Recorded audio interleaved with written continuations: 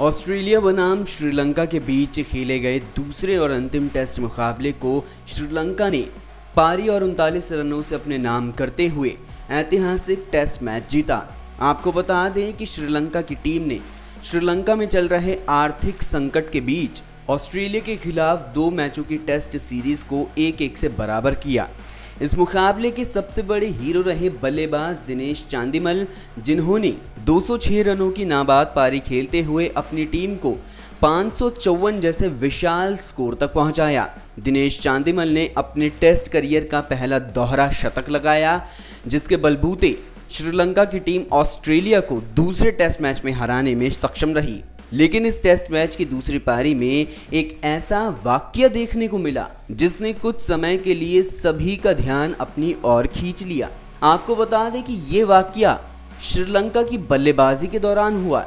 जब दिनेश चांदीमल बल्लेबाजी कर रहे थे तो उन्होंने ऑस्ट्रेलियाई तेज गेंदबाज मिचल स्टार की गेंद पर इतना लंबा छक्का लगाया, सीधा स्टेडियम को चीरती हुई सड़क पर जा गिरी।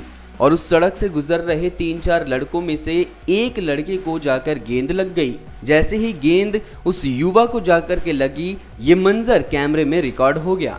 आपको बता दें कि इसके बाद उस युवक ने गेंद मैदान में वापस फेंक दी।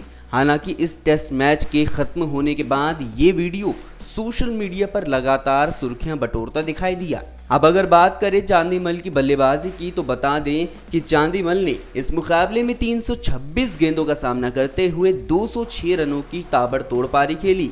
इस दौरान बल्लेबाज ने 16 चौके और 5 छक्के भी लगाए।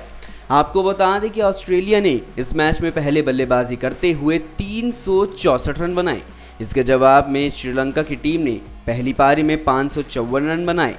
और दूसरी पारी में 190 रनों की बढ़त का पीछा करते हुए ऑस्ट्रेलिया की टीम एक सौ इक्यावन रनों पर ही ढेर हो गई और श्रीलंका ने ये मुकाबला पारी और उनतालीस रनों से अपने नाम किया। आपको बता दें कि दिनेश चांदीमल को उनके ज़बरदस्त प्रदर्शन के चलते मैन ऑफ़ द मैच का खिताब भी मिला।